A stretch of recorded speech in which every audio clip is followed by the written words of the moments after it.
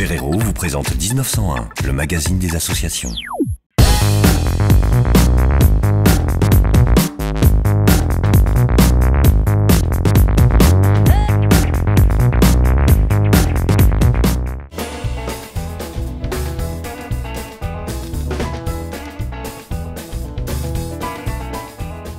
Cheval Espérance, c'est une euh, association qui a été créée par euh, Laurent Bidot il y a 8 ans.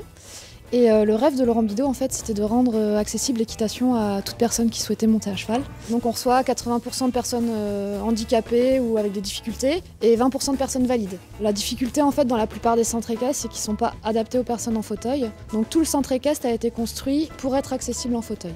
On a tout qui est de plein pied, on a un élévateur électrique pour permettre à la personne handicapée en fait, de monter à cheval sans qu'on ait à la porter. On a une double selle aussi pour aider les personnes qui ont un peu une hypotonie au niveau du dos euh, pour leur tenir le dos.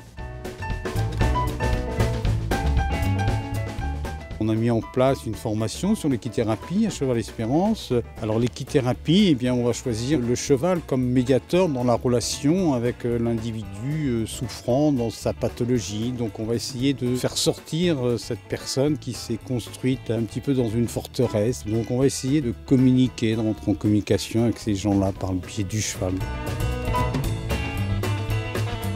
La relation à l'animal est très importante vu que de par leur handicap, la relation à l'autre est très compliquée. Le biais de créer une relation par l'animal peut être intéressante et favorable pour eux.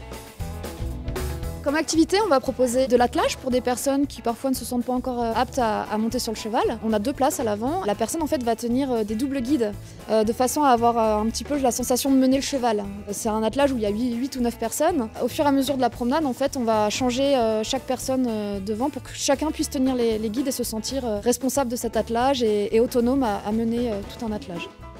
On va proposer des balades en forêt parce qu'on a la chance d'être euh, en proximité de forêt. Donc on propose beaucoup de balades où les personnes en fait ont juste besoin d'être sur le cheval et de se faire bercer, de sentir le vent, de profiter de la nature un petit peu parce que la plupart sont en établissement toute la journée. Et euh, là c'est un grand bol d'air quand ils viennent.